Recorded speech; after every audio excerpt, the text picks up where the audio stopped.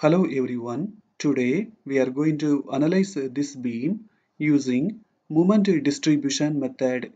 Before analyzing, let us see the beam one time. In this beam, there are two spans, span AB and span BC. In the span AB, there is a point load 24 kilonewton. It is acting in the center. In the span BC also, there is a point load 12 kilonewton. It is also acting in the center. The moment of inertia for the span AB is I. For the span BC, it is 2I. Length of the span AB is 10 meter. Length of the span BC also is 10 meter. In the point A, there is a fixed support. In the points B and C, there are hinged supports. The support in the point B sinks by 10 millimeter. The support in the point C sinks by 6 millimeter. The Young's modulus E is given as 12 kilonewton per millimeter square and the moment of inertia is given as 125 into 10 power 7 millimeter power 4. The moment of inertia I is given in millimeter power 4. So we have to convert it into meter power 4. We know that 1 millimeter is 1 upon 1000 meter but here we have power 4 so we have to divide this value by 1000 power 4 finally we are getting the moment of inertia in meter power 4 the Young's modulus E is given as 12 kilonewton per millimeter square. We have to convert this value into kilonewton per meter square here we have mm square so we have to divide by 1000 square. When we do that we are getting in kilonewton per meter square. For our own convenience let us multiply the moment of inertia and Young's modulus. When we do that we are getting 15,000 kilonewton meter square. The settlement at B is given as 10 millimeter. Let us divide 10 by 1000 so that we will get 0.01 meter. In the same way, let us convert the settlement at C. When we divide 6 by 1000, we will get 0.006 meter.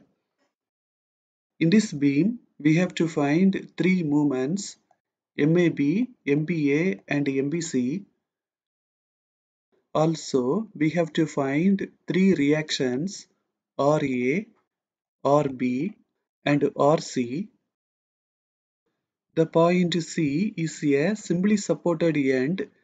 In the simply supported end, there will be no movement. So, MCB will be 0. Now, let us find the fixed end moments. First, let us find them in the span AB. In the span AB, there is a point load 24 kilonewton. This load is acting in the center. The formulas for the fixed end moments are minus WL upon 8 and positive WL upon 8. In the span AB, the support in the point B sinks by 0.01 meter. So we have to find the fixed end movements due to sinking of the supports. The formula to find the fixed end movements due to sinking is 6EI delta upon L square. The fixed end movements due to sinking will be either positive or negative. We have to find that. The fixed end movements due to sinking will be positive if the sinking occurs on the left side of the span. They will be negative if the sinking occurs on the right side of the span. In the span AB, the sinking occurs in the point B, so the sinking occurs on the right side. So the fixed end movements due to sinking will be negative. In the formulas, let us apply the values. W is 24, L is 10, EI is 15,000, delta is 0.01. The fixed end movements due to sinking will be same for MFAB and MFBA. So we can simply apply this value here. After the calculations, we are getting M of AB and M of BA. Now let us find the fixed end moments in the span BC. In the span BC also, there is a point load acting in the center. The formulas for the fixed end moments are minus WL upon 8 and positive WL upon 8. In the span BC, the support in the point B sinks by 0.01 meter. The support in the point C sinks by 0.006 meter. Now we have to find the net settlement. The settlement in the support B is higher than the settlement in the support C. So the net settlement occurs in the point B. To find the net settlement, we have to subtract this value by this value. When we do that, we are getting 0.004 meter. Since the net settlement occurs in the left side, the fixed end movements due to sinking will be positive. In the formulas, let us apply the values. W is 12, L is 10, delta is 0.004. For BC, the moment of inertia is 2i, so we have to multiply the EI value with 2. Here we have to be very careful. We know that the fixed end moment due to sinking will be same for both the M of BC and M of CB. So we can simply enter this value here. No need to calculate again and waste the time. After the calculations, we are getting m of bc and m of cb In the moment distribution method, we have to find the distribution factor. We have to find the distribution factor only in the joints. In this beam, there is only one joint, that is the joint B. So, in this joint only, we have to find the distribution factor. To find the distribution factor, we have to calculate the stiffness. Let us see the formulas to find the stiffness. If the far end is fixed, the formula is 4EI upon L. If the far end is hinged or with roller support, the formula is 3EI upon L. If the far end is continuous, the formula is 4EI upon L. From the joint B, we have to find two stiffness values for BA and for BC. First, let us find for BA. For that, from the point B, we have to look at the point A. In the point A, there is a fixed support. If the far end is fixed, the formula for the stiffness is 4EI upon L. Length of BA is 10. Let us apply that. For the stiffness of BA, we are getting 0.4 EI. Now let us find the stiffness for BC. For that, from the point B, we have to look at the point C. In the point C, there is a hinged support. If the far end is hinged, the formula for the stiffness is 3 EI upon L. The moment of inertia for BC is 2i. So instead of i, we have to apply 2i. Length of BC is 10 meter. Let us apply that. Finally, for the stiffness of BC, we are getting 0.6 EI. Now let us find sigma k. For that, we have to add these two values. After adding, we are getting EI. Now, let us find the distribution factor. The formula is K upon sigma K. We have found the K values and sigma K. Using the formula, we can get the distribution factor values. Now, let us start making the moment distribution table.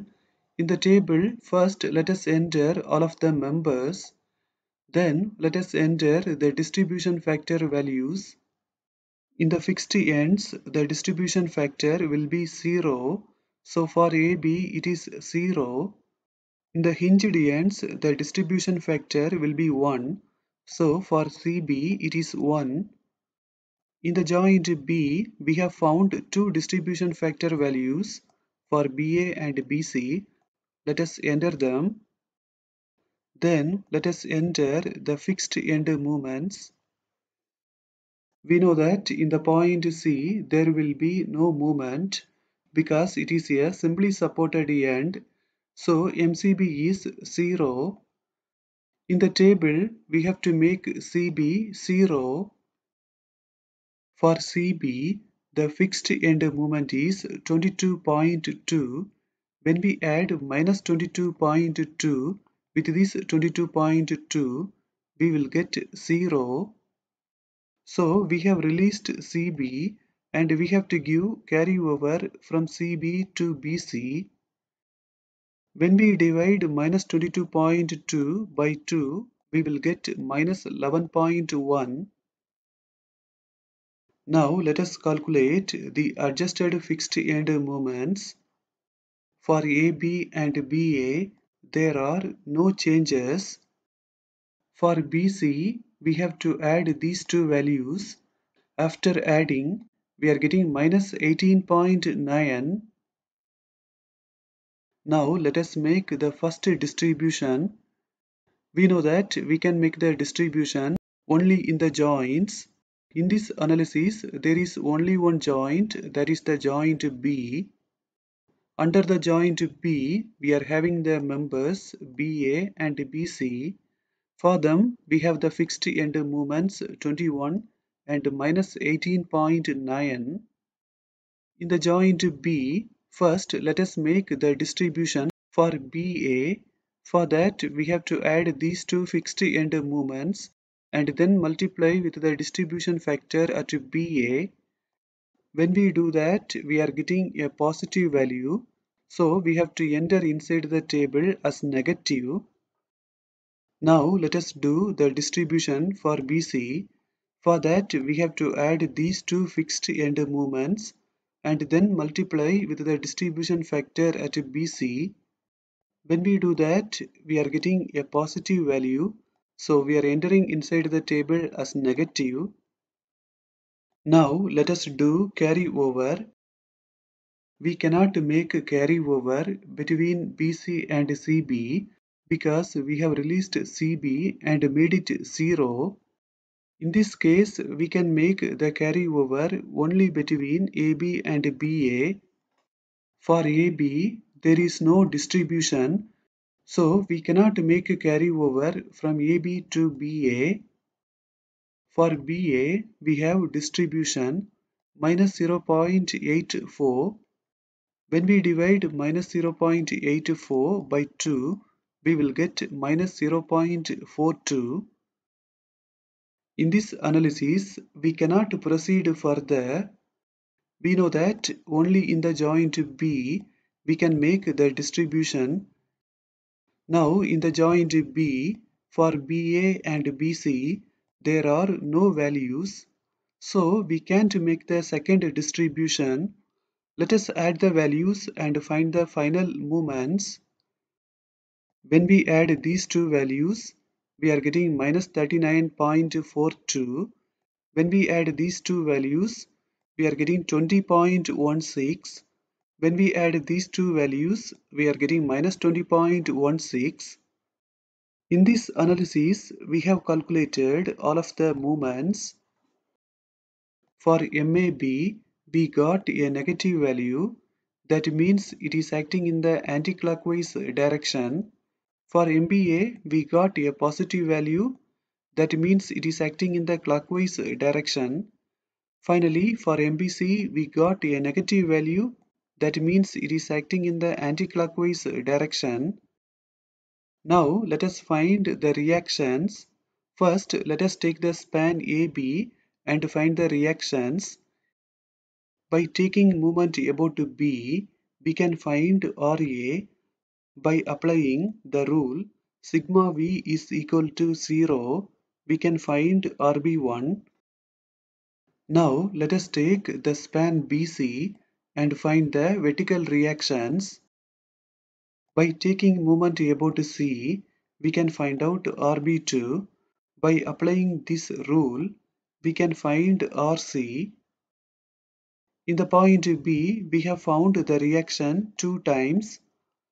Let us add RB1 and RB2 so that we will get RB. Now let us make the shear force diagram. Now let us use these formulas and make free movement diagram. Then using the end moments, we can make end movement diagram. Then we have to combine the free movement diagram and end movement diagram so that we will get bending moment diagram. Now we are going to end this session. Thank you for watching this video.